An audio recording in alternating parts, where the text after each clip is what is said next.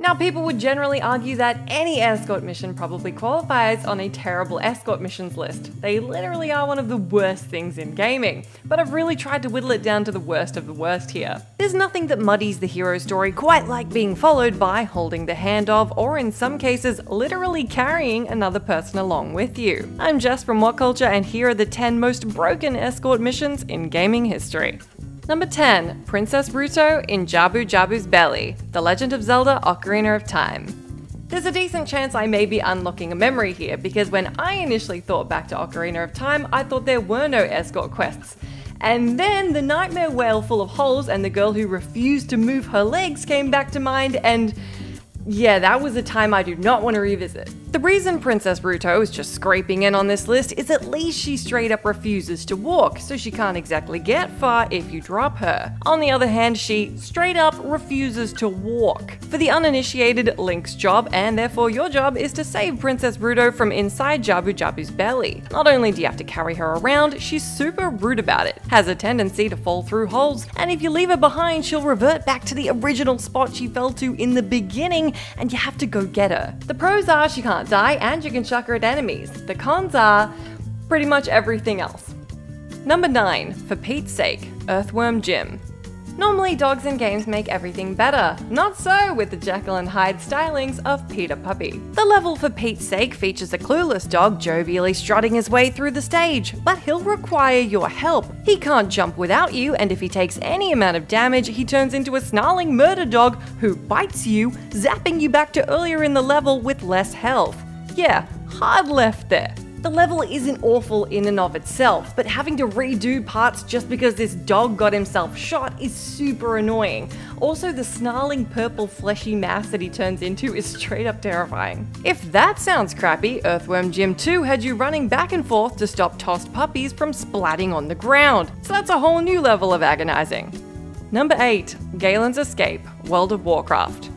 World of Warcraft is notorious for its crappy escort missions, possibly none more famous than Galen, who seems to have made it his life's work to make your job as tough as possible in the staying alive department. In the Galen's escape quest, you find Galen in the Swamp of Sorrows, free him from a cage, and then he proceeds to try to get himself killed in various ways. Some players actually recommend emptying the swamp out of foes before you let this time bomb out. He moves fast, pulls a ton of enemies to you, and sometimes runs off and aggroes more enemies just in case you weren't having a crap enough time. He also has like no armor, isn't healable, and given the choice between wandering into an open area or an enemy camp, I reckon you can figure out which one he'd choose. Not fun. Number 7. Sheva, Resident Evil 5. I know this is the first survival horror game on this list, but boy howdy is it not the last. Can I pull off boy howdy? I feel like I definitely can't, but let's talk about something even more horrible than having to hear me say that escorting Sheva. Resident Evil 5's Sheva Alomar may be a stone cold fox, but if you don't have a friend to play as her, you're at the mercy of her AI, which, to be nice about it, leaves a lot to be desired. Essentially, what you'll be left with is a game that's basically one long escort mission. Despite looking precisely like the kind of badass you'd want watching your back, it turns out that due to some wildly clunky programming, she rampages through ammo and supplies like it's going out of style. And let's remember that this is a survival horror game where that stuff is pretty important. She also manages to consistently stand exactly where you don't want her to, and bizarrely defaults to using her weakest weapons. Of course, if she dies, you go back to the last checkpoint and lose years off your life out of frustration. Number 6. The Alchemist, Spyro 2. Now this one is admittedly actually pretty easy. Once you've played it enough times that you've actually memorized the pathing of this dude you're supposed to protect. Much like the dog that goes evil when he gets hit, in Spyro 2 Ripto's Rage, you'll need to protect the alchemist as he persistently puts himself in harm's way by sidling right up to Earthshapers who want to kill him and you, instead of doing literally anything else. The alchemist is delivering a potion to Hunter to cure his stone encased feet, but you'd assume he must have some kind of problem with the cheetah, since he's doing his darndest to take the worst possible route. To add insult to maddening pathing injury, he pretty much dies after one hit, so if you played Spyro 2 as a kid, I'm guessing this is not a good memory. Number 5. Every Eileen mission Silent Hill 4 The Room. Plenty of horror fans actually liked Silent Hill 4 The Room. What they didn't like was having to escort Eileen. It's at about the game's midpoint when Henry Townsend's neighbour Eileen is nearly beaten to death by Walter Sullivan. Now that's awful, but I'm betting you'll feel less and less sorry for her as the rest of the game goes on and her broken limbs become your problem. The fact that Eileen can't die sounds like it should take a load off your stress levels, but the game's endings actually change based on how much injury she sustains. Much like many of the other escortees on this list, Eileen is a dummy, or she's programmed to be a dummy. Either way, you end up babysitting a companion who, if you decide to give her a weapon, pointlessly tries to beat up on ghosts, brings a handbag to a shotgun fight, complains constantly, and is slow as hell.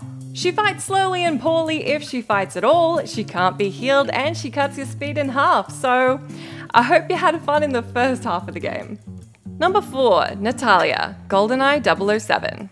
GoldenEye's Natalia may be a Russian super hacker, but judging by the amount of time it takes her to hack anything, she may not be a very good one. Whether she's at a computer or running alongside you, she's never not a pain. There's also a decent chance she magnetizes to gunfire, since her head always seems to be right between you and the guys who are shooting at you. GoldenEye 007 is an absolute classic, but the section where you have to defend Natalia while she's hacking may cause your eyeballs to pop out of your head. The enemies are infinitely spawning, Natalia's taking her sweet time, and when she's not actually hacking, she loves to run ahead of you, just in case she isn't already in somebody's sightline. Number 3. Legitimately every Survivor mission Dead Rising. Dead Rising was a bit of a phenomenon when it came out in 2006, meaning A, you probably played it, and B, the escort missions probably sent you into a spiral. You see, the people of Willamette are so stupid, they may in fact deserve to be eaten by zombie hordes. Throughout the game, Frank comes across humans trapped by the undead who he needs to escort back to the safe room. But trying to save these guys from themselves is an absolute headache. They run into walls, sprint towards groups of enemies like they're meeting old friends, and even though they have weapons, they seem completely incapable of using them. It's easily the fastest way to make the zombie apocalypse even less fun. Number 2. Amy. Amy. You may not have come across the 2012 survival horror game Amy, and after hearing this entry, you're not going to want to. Instead of helping someone genuinely helpless through a crazy dangerous situation, you are the helpless person. That's more fun than being the protagonist, right? On top of that, your comrade isn't a gun toting house of bullets and brawn, but a little girl called Amy. Okay, so she does have superpowers that help her kill zombies, but she's still a kid. And as I mentioned, you're helpless. It's still mind boggling what sort of sadistic dev team decided this is what video games really needed. Get too far from your child's super savior, you die. Try to speed up from her absolute snail's pace, you die. I'm kind of cheating because this is a whole game and not a mission, but just take this as a PSA. Look, the concept is cool, the execution is absolutely brain breaking. There's a reason this game is sitting at 25% on Metacritic. If you want to play a game where you escort around a kid with superpowers, trust me, go play A Plague Tale Innocence. Number 1. Emma Emmerich, Metal Gear Solid 2.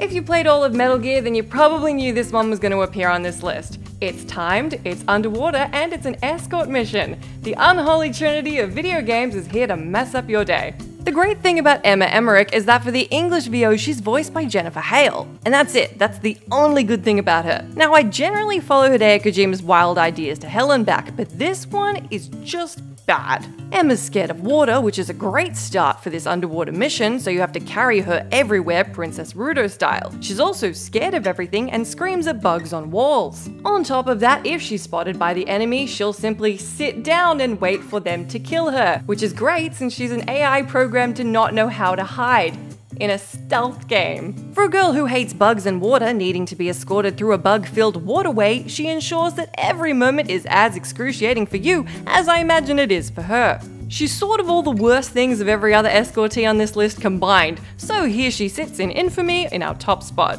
You can, however, knock her out and drag her ass through the level, and trust me, you're probably gonna want to. Let me know down in that comment section which escort missions from video games drove you absolutely nuts. As always, I've been Jess from What Culture. Thank you so much for hanging out with me. You can come say hi to me on my Twitter where I'm at Jess McDonald, but make sure you stay tuned to us here for plenty more content.